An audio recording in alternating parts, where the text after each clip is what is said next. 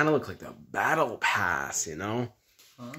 Okay, anyways, I was talking to this girl yesterday, right? Yeah. Uh, she said she listened to Cardi B, right? And I asked her, um, you know, do you have a father figure at all? Like, what's your relationship with your father, right? And she was like, oh my god, and she, she tried to slap me, right? I was like, we've